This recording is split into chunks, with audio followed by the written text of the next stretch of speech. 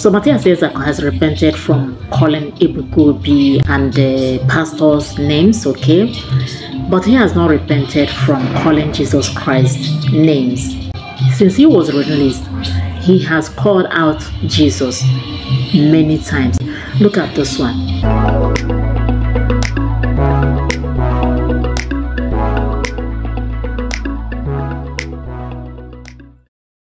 So hello what's up and welcome back to my channel. If you're coming across my channel for the first time, my name is Florence Ezakafo and this is Story TV. The law said that we should not mention someone's name. The case between me and Aku Zion has been died in this station. Let us move on. Continue with our teaching, but don't call name. So Mathias Ezeaku finally humbled himself to make peace with those people who he has called out. After he was locked up and released, he decided to let peace reign. So Mathias Ezeaku has repented from calling Ebuka Obi, Akozion, and the pastors' names, okay? But he has not repented from calling Jesus Christ names. Since he was released, he has called out Jesus many times. Let me say two times. I'll share it with you. Look at this one. So this is one of the posts that he made on his Facebook page. J is always broke. So J stands for Jesus. J is always broke. He always needs your money through his agents called pastors and reverend claiming to bless you. And this act is only relevant in a country that their citizens are broke. He will turn to Yahoo Guy by taking money from the citizens and at the same time ask the same citizens to pay with his name, to pray with his name in order to make the same money after he have practically collected from the broken citizens. Religious leaders created religion for business. Only government can save you, not J. Wake up, black man. Christianity from our slave masters, Europeans, together with their J, only stands for pure 419. Now look at this one, what he said. Giving your life to J is like giving your life to a terrorist. You will always live in fear, thinking that Satan is fighting you. So from this post, we can clearly see that uh, Mathias Ezeaku is out to insult J, okay? Because uh, now he has been arrested, uh, the human beings have arrested him, and now he has turned to insulting J, who he believes that will not come down from heaven to arrest him. So you see how man can fear fellow man, but cannot fear God. You see? The truth is that Mathias Ezeaku initiated the violence and he has not actually repented because he's still calling Jesus Christ names, okay? If you want to repent totally from calling names, he should also repent from calling Jesus Christ names. As long as he did not do that, his people would still lash violence on Jesus. onye jizọs nwa bekee. Nwa nwa wuchi ihe na-emegbukwa m. Ihe na-emegbuo m.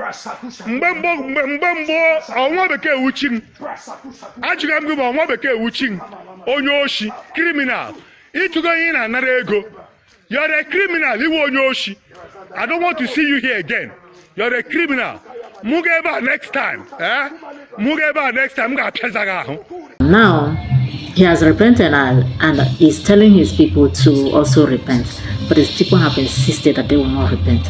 They say that, that he has been bribed, that he has been brainwashed. In fact, many of them were not happy with him.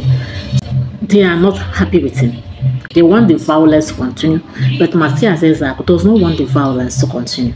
So he has talked to them in several ways. He has used firm voice to talk to them. He has even used soft voice to talk to them. But it seems that they don't want to understand.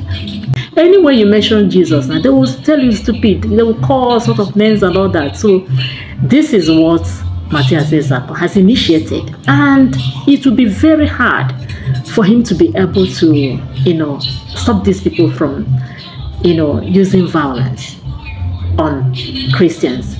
So, because he has created that uh, ground where they had the opportunity to insult Christians.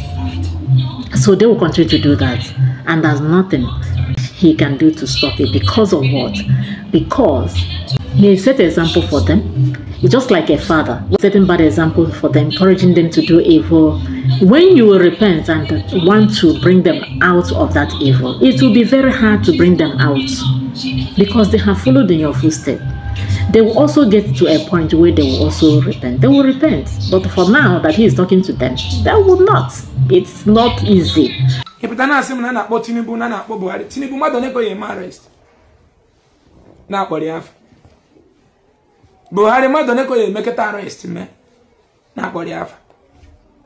Mindset onye ọbụla bụrụ ofu advice onye ọbụla bụrụ ofu ihe